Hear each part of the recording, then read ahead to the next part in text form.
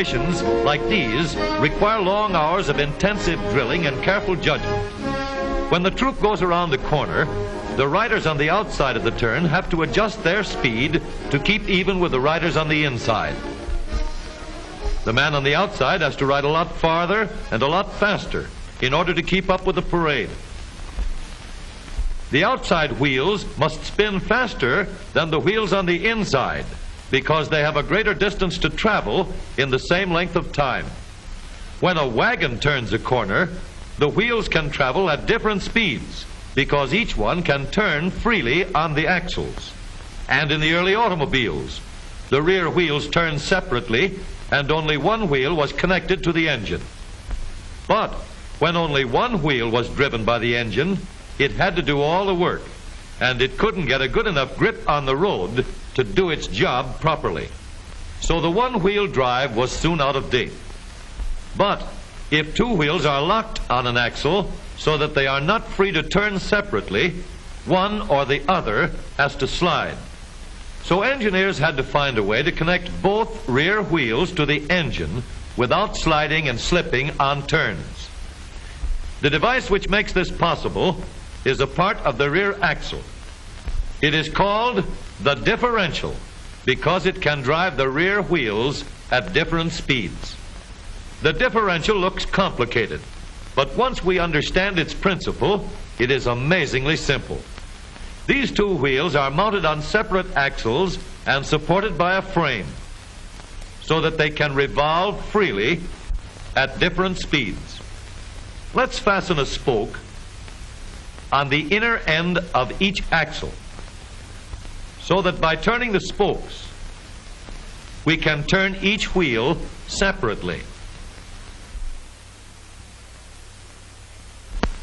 With a bar or crosspiece, we can turn both wheels in the same direction at the same rate of speed. Let's get something to hold this bar in place so that it will press against the spokes. Notice that this support is not locked to the axle. It turns freely. Now, we can spin the wheels by rotating the support. This is fine, as long as both wheels are able to turn at the same speed. But, let's see what happens when we go around the corner. With this arrangement, we cannot drive one wheel faster than the other.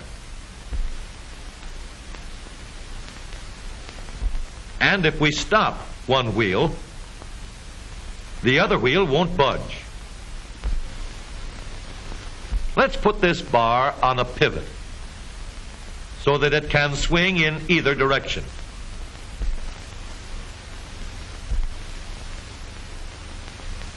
Now, the bar can still turn both wheels at the same speed. And because it pivots, it lets one wheel turn even when the other is stopped. But if turned too far, the bar will swing around until it won't drive the spokes that turn either wheel.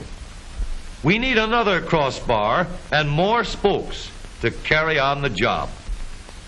When we stop one wheel, the crossbars will continue to push the spokes of the free wheel around as long as both wheels are free to turn. The bars do not swing on their pivot and the wheels move at the same speed. Now we have the working principles of a differential. To adapt the model for use in an automobile, we will have to make a few changes.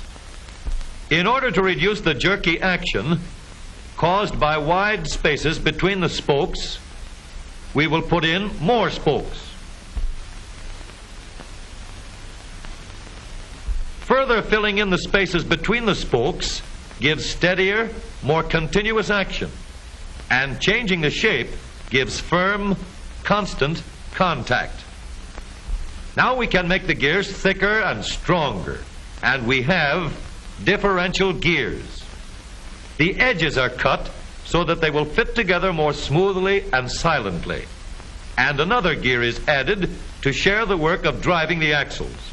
The principle is the same.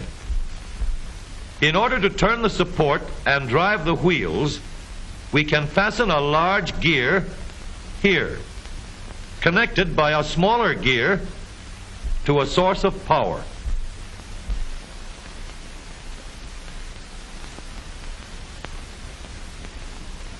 Notice that the power is connected to the differential at the center line. We can make our model more compact by moving the gears closer together. When we put our differential in an automobile, we have to leave room for the drive shaft, which carries the power from the engine. We may build the floor of the car above the drive shaft. But if we do, we won't have much room inside unless we make the top of the car high too. Of course, we could lower the floor and ceiling, but the drive shaft would be higher than the floor. This would have disadvantages. A shaft in the middle of the floor of an automobile would be inconvenient for passengers and would be awkward for carrying luggage. Today, engineers have found a way to make the car roomier and closer to the road without a clumsy shaft above the floor. The drive shaft from the engine to the differential is lowered out of the way, and the drive shaft is connected to the rear axle at the bottom.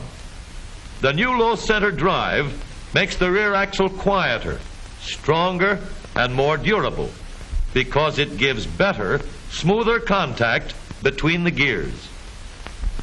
The automobile of today with the low center drive is stronger and more rugged. Every part of the rear axle has been built to withstand strains far greater than it will ever meet on the straightaway or around the corner.